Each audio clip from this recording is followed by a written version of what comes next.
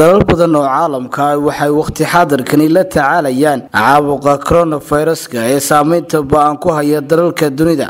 Haddaba dalka ingiriiska ah oo dalalka ugu weyn dalalka qaaradda yurub ayaa xanuunkaasi la tacaalaya waxaanu khadka telefoonka kula xidhiiday cabdilaahi shukri oo ku sugan dalka ingiriiska gaar ahaana caasimada dalkaasi ee london. Anigoo ka waraystay sida uu dalka ingiriisku uga diyaargaroobay caabuqa coronavirus ee saameynta ba'an ku haya dalalka dunida.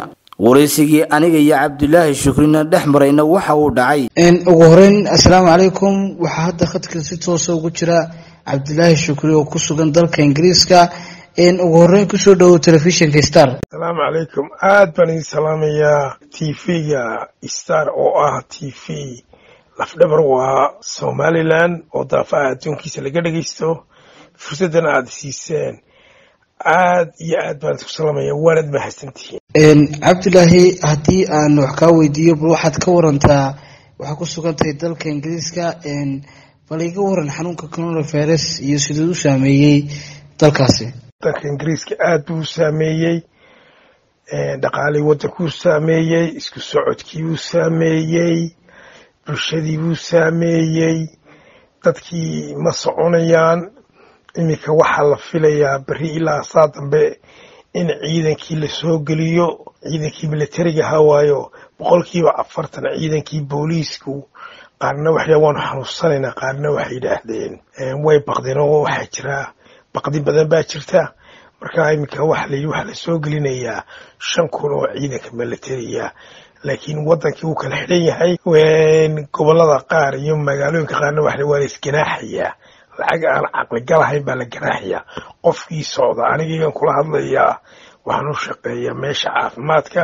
Warqad baa laysiiyey warqadii dhaqdhaqaaqa oo kale waas wanaagsan. Markaasi bal goobihii ay dadku isugu imanayeen iyo soo socodkii bulshada magaalada aad ku sugan tahay bal iyaga xaaladooda ka waran. Aan kaaga warramo magaalada aan ku suganahay ee london socdaalkii waa la joojiyey basaskii waa la yareeyey dadkii waxaa sharci baa laga soo rogay aan sharcigii ahayn.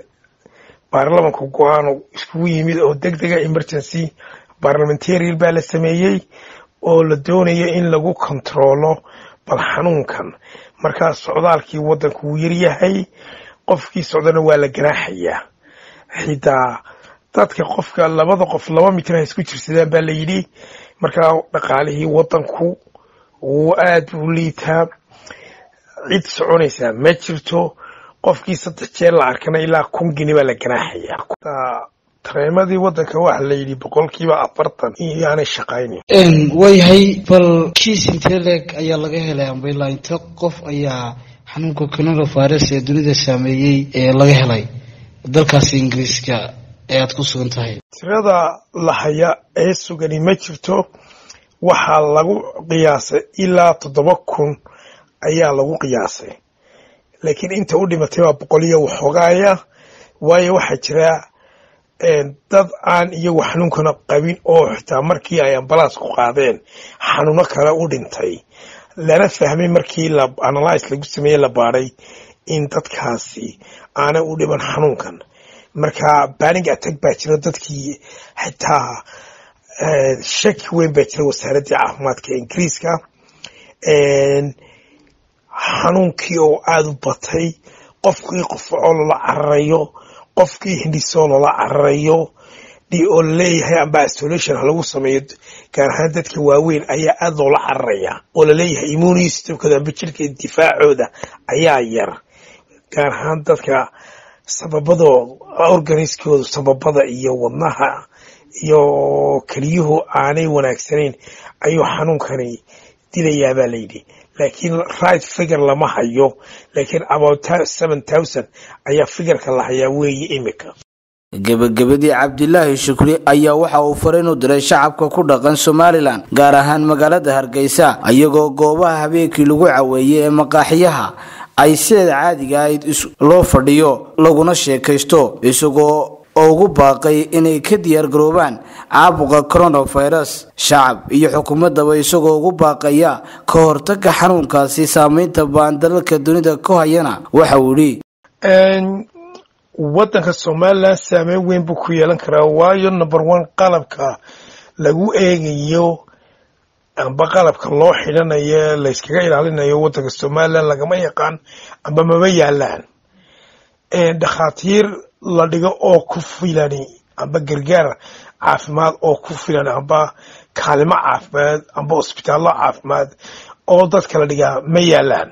Marka dhibaatada ugu weynay dadka somalilan la imanaysaa dhaqaalihii waddankuna wuu baaba'ayaa dhimashaduna way badanaysaa si taa looga hortago dowladda somalilan waa inay sharci deg dega ka soo saartaa oo la xidhaa meel kasta oo furan muddo saddex wiiga oo dadkii la baraarujiyaa loo sheegaa meelihii masaajidada laga wargeliyaa dabeetana meelaha layskugu yimaada ama maqaaxiyaha amba jaadadka meelihii laga iibsan jiray amba meelihii ummaddu isku imanaysay waa in la xidhaa waayo xanuunkani sbiid aada u weyn buu ku socdaa.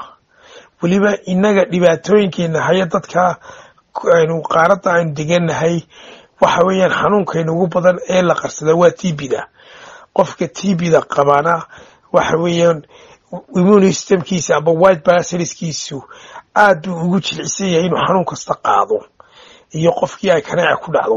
Marka waxaan kula talinaya wasaaradda caafimaadku waa inay baraarujistaa ummadda waa inay wargelisaa oo tifiyada qaranka reer somalilan laga sheegaa weliba qaranku waa ina uu war ka gaarsiiya ummadda uu wakiilka ka yahay dooratay oo laga ilaaliya waxyaabahan kale laga sheekeynaye ammaanta ah. Waa in la wargeliyaa marxaladda jirta ee waddanka amba adduunka waxa ka socda. Dadka dareenkooga la kiciyaa loo sheegaa waa in dhaqdhaqaaqa la yareeyaa wixii kale kaalmaha u baahan deg degana waa inay dowladdu ay la xidhiidhaa uns n c r ka w h o ga oo ay wargeliyaan dhibaatooyinka xaaladaha caafimaad amba qalabka ay u baahan yihiin dadka reer somalilan. Inkastoonan hubin in tiro ko-an oo dadka reer somalilan ah dowladdii hore ee siiraayay amba tani ay tirokobsiga subaysay laakiin warbaraarujin iyo wargelin deg degaa loo baahan yahay in meel kasta la xidho.